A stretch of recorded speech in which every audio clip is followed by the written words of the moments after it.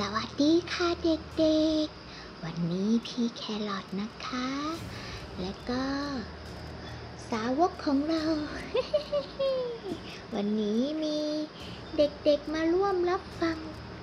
พี่แครอทเล่าเรื่องผีมากมายเลย เห็นไหมคะบรรยากาศกำลังได้ที่หนูหนูๆพร้อมที่จะฟังพี่แครอทเล่าเรื่องผีหรือยังคะ ถ้าพร้อมแล้ว เรามาติดตามรับชมกันเลยค่ะ ต้องทำเสียงให้น่ากลัวหน่อยนะจริงๆ ต้องทำเสียงให้มันหลอนกว่านี้ โอ้ยเราสักทีสิ เราก็กลัวจังฉี่ลาดแล้วเนี่ย มานั่งข้างในสุดเรากลัวผี เห็นไหมมีเด็กๆมานั่งกันผีให้เราเต็มไปหมดเลย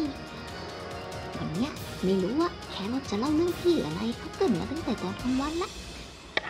เอาละค่ะ เด็กๆพร้อมหรือยังคะ พี่แครอทจะเล่าเรื่องผีให้ฟังนะคะ วันนี้พี่แครอทจะเล่าเรื่อง บ้านนี้มีผีค่ะ ดูนะคะ ว่าบ้านหลังเนี้ยที่พี่แครอทจะเล่าให้ฟัง มีผีทั้งหมดกี่ตัว ขอเตรียมความร้อนกัน เด็กๆพร้อมหรือยังคะถ้าพร้อมแล้ว ไปฟังเรื่องผีของพี่แครอทกันเลยค่ะ สวัสดีครับ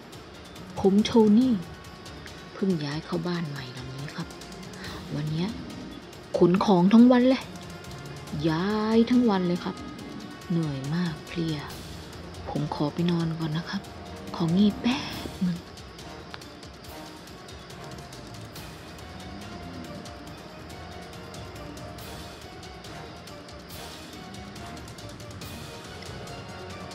สวัสดีครับ ผมนินจา พ่อผมคงเหนื่อยมาก และหลับไปแล้ว ผมไปหาอะไรเล่นก่อนนะครับ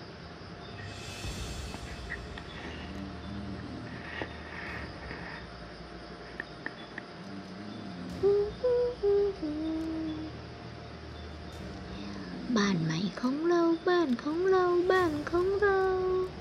มีอะไรให้เล่นสนุกสนุกๆมากมายเลยครับ บ้านของเรา บ้านใหม่ของผมน่าอยู่ไหมครับ คุณพ่อหลับแล้วผมจะเล่นอะไรก็ได้ครับ เพราะมันเป็นสิทธิ์ของผม พ่อหลับผมก็เล่นได้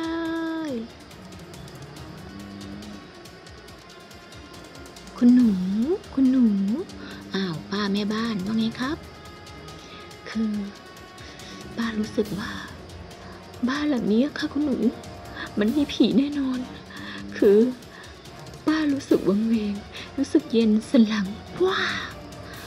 ป้าว่าป้าอยู่ไม่ได้แล้วคุณหนูป้าขอไปอยู่ที่อื่นได้ไหมคะใจเย็นครับป้า ให้ผมไปบอกคุณพ่อก่อนได้ไหมครับอย่าเพิ่งอย่าเพิ่งตีพอยตีพายไป ผมก็กลัวเหมือนกันนะ ป้าอย่าเพิ่งออกไปไหนเลย อยู่กับพวกผมก่อนนะครับ เดี๋ยวป้าขอคิดดูก่อนนะคะคืนนี้ต้องนอนสวดมนต์ทั้งคืนแน่เลย ตายแล้ว บ้านผมมีผีแล้วครับเนี่ย ผมจะทำยังไงดี ผมขอไปบอกคุณพ่อก่อนนะครับ คุณพ่อครับ คุณพ่อ คุณพ่อ โอ้ยอะไรลูก โอ้ย พ่อกำลังนอนหลับสบายๆ คุณพ่อครับ แม่บ้านของเราบอกว่าบ้านเรามีผีครับพ่อทำไงดี พูดเป็นเล่นไปลูก บ้านเรามีแม่บ้านที่ไหนกันเนี่ย อย่ามารอพ่อเล่นนะ คุณพ่อพูดยังไงอย่างนั้นล่ะ เมื่อกี้คุณป้าแม่บ้านก็เดินมาบอกผมจริงๆนะไร้สาระบ้านเราไม่มีแม่บ้าน แล้วคุณยายเข้ามาอยู่จะมีแม่บ้านได้ไงลูกพ่ออย่าพูดอย่างนั้นสิผมกลัวพ่ออืมไร้สาระจริง ๆ เด็กคนนี้นี่อืมคุณคะคุณมานี่หน่อย เอ๊ะอะไรกันเหรอครับคุณ ว่าไงครับ เออ เออ ฉันจะบอกคุณว่า อย่าเสียงดังไปนะคะ คือ เราสองคนน่ะยังไม่มีลูกนะคะคุณจริงเหรอ พูดเป็นเล่น เมื่อกี้อะลูกเราชัดๆ จริงๆ ค่ะคุณ เราสองคนเพิ่งย้ายเข้าบ้านใหม่ เราสองคนยังไม่มีลูกเลย ฉันรู้สึกกลัวมากเลยคุณเราย้ายออกกันเถอะ ฉันไปเก็บของก่อนนะไม่ไหวแล้วตายแล้วแล้วไอ้เด็กที่อยู่ข้างหลังเรานี่มันอะไรกันฮะผมเพิ่งนึกขึ้นได้บางอย่างผมเพิ่งนึกขึ้นได้อื้อว้ายแอบตายแล้ว ผมยังไม่มีเมีย ย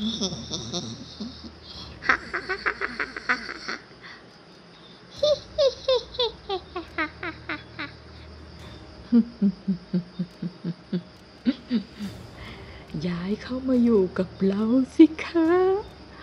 ป้ารออยู่ เป็นไงบ้างคะ บ้านนี้มีผีของพี่แครอท เด็กๆกลัวกันไหมเอ่ย ดูสิ ข้างในนี้ซุกตัวกันแน่นกระจุกกันไปหมดเลยโอ้ยพี่แครอทเอาว่าพี่อะไรมาเล่าให้ฟังเนี่ย ดูดิ เด็กๆกลัวกัน มาเบียดเสียดฉันไปหมดเลยเนี่ยหายใจแทบไม่ออกเลย ผีของพี่แครอทนี่มันน่ากลัวจริงๆเลยนะคะ บ้านเช่าหลังเนี้ย ถ้าเป็นไปได้นะ หนูจะไม่ย้ายเข้าไปอยู่ พี่แครอทมันน่ากลัวมากๆเลยค่ะขอมาซุกอยู่ข้างในกับพี่มังโกด้วยคุณ